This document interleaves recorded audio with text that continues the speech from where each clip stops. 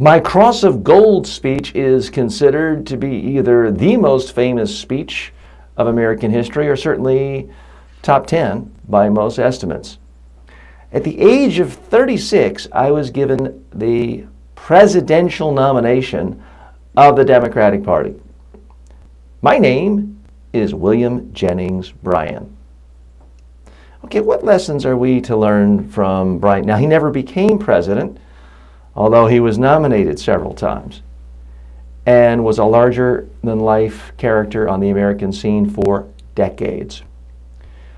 But I want to look at the beginning there. Getting a major party nomination at age 36, that has not happened before or since.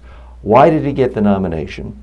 It was, I would contend, purely because of his ability to speak well.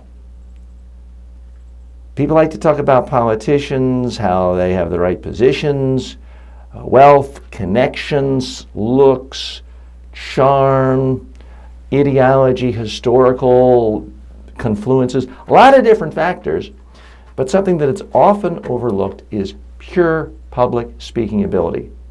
Whether you're talking about the 18th century, 19th century, or in more recent times, Barack, Barack Obama, I believe, got the 2008 presidential nomination almost exclusively because of his speech at the 2004 convention. That's what thrust him on the national scene.